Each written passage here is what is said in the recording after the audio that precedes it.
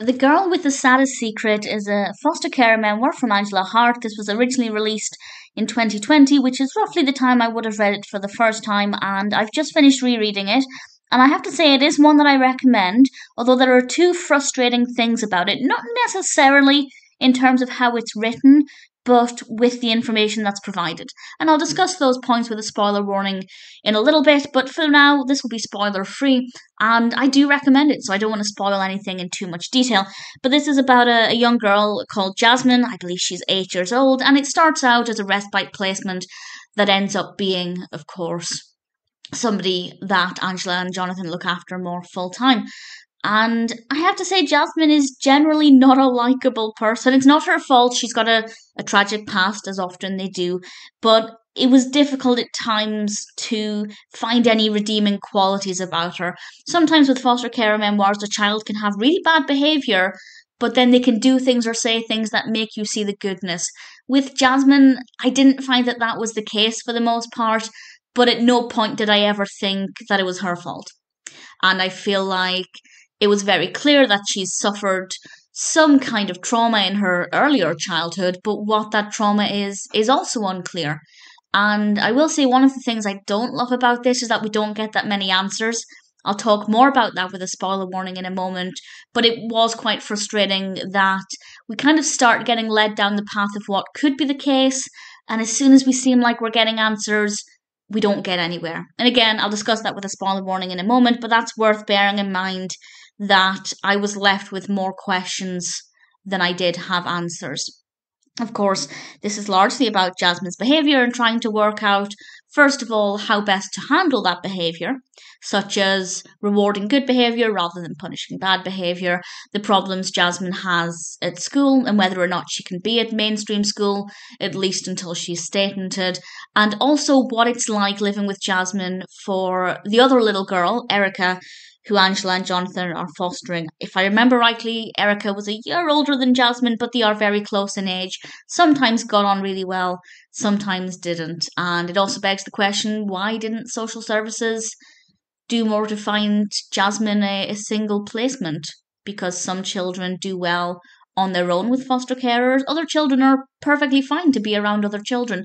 And I think it was a real disservice to Erica because Jasmine basically, not always, but often made Erica's life very difficult. And it seems like social services didn't really care about the effect that Jasmine was having on Erica. Not that Angela didn't feed any of this back to social services, because as we see in the book, she does, but social services seemed to not care. And that's pretty awful. And I'm sure they did care deep down, but they didn't seem to do anything to suggest that.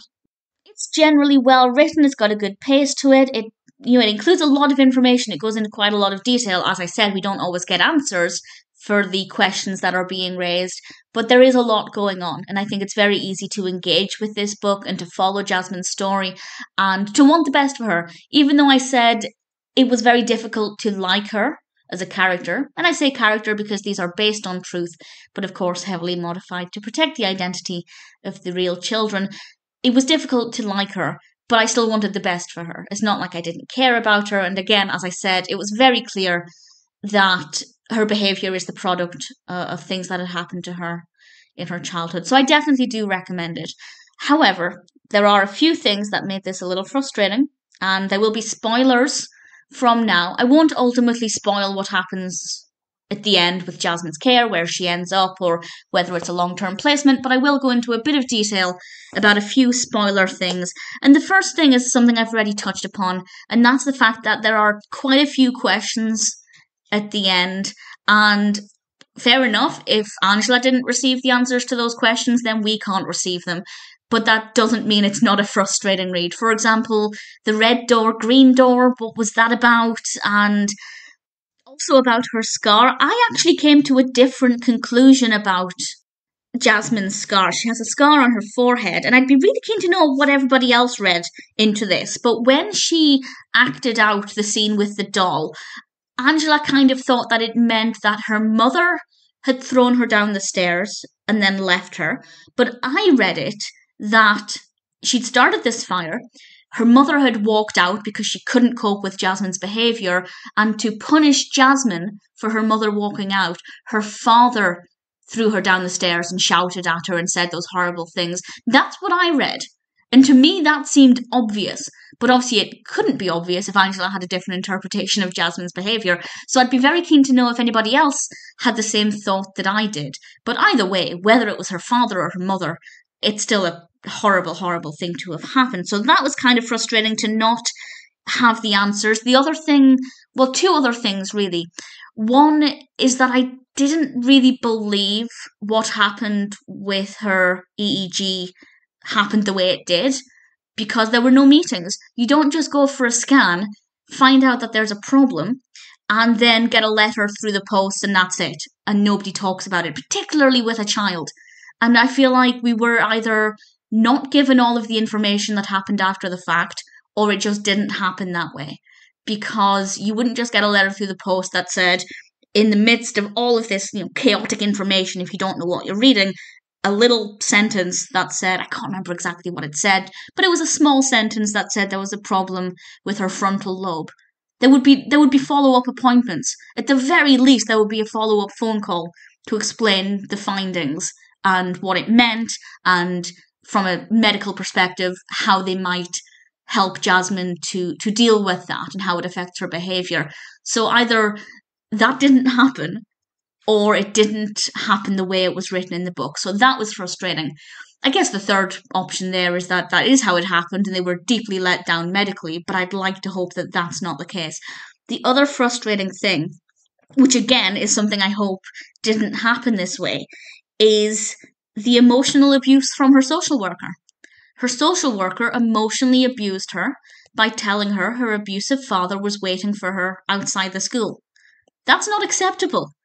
To tell an adult that their abuser is waiting outside for them is horrible. To say it to a young child who doesn't have any control over their actions, who doesn't have any control over their life, who would instantly think they're about to be taken outside to their abuser, that's emotional abuse. And the fact that it was just brushed off with, oh, the social worker's going through a divorce, let's just sign him off sick instead. No, you fire him. You make sure he can never work with children again. There is no excuse for emotionally abusing an eight year old child who is very vulnerable. That is unacceptable. And as I said, I really hope that that's not what happened. Because I think to think that a social worker could emotionally abuse a child like that, bearing in mind he'd also allegedly just threatened her with a children's home saying that she'd be put into a children's home within 14 days. We never clarified whether he did or that was Jasmine just saying it, but based on the other emotional abuse, it seems very likely. I, I don't want to believe that a social worker can um, emotionally abuse and manipulate an eight year old child like that and then not have any repercussions other than getting signed off sick. I don't want that to be the truth because that's horrible. Social services are there to help the children, to support children, to be on their side, to get them the best quality of life they can, and to protect them from any dangers. And instead, he's taunting her with these dangers, threatening her. And he's not a nice person. I don't care if he's going through a divorce. There is no excuse for abusing a child emotionally like that. And if it was a foster carer who'd said that, I believe they'd be told, right, you can't foster anymore because we can't have you emotionally abusing children. So either I hope it was completely fabricated for the book and it didn't happen like that, or he wasn't signed off sick and he was actually fired because that's unacceptable. And that is one of the most frustrating things I've ever read, and I hope it's not true. However, the rest of the book, most of the rest of the book, is not that frustrating. But it isn't. I got to the end of it and just thought I have too many questions.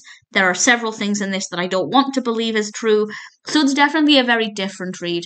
But that aside, I still, you know, I liked the process of seeing support for Jasmine, of finding out what measures could help her with her behaviour. So there were some interesting things in the book. It's not the easiest read, but at the same time, I would recommend it. I know I've just spoiled several things, so I'm hoping you've read it if you're still listening. But I certainly didn't mind it, and I'm pretty happy to recommend it.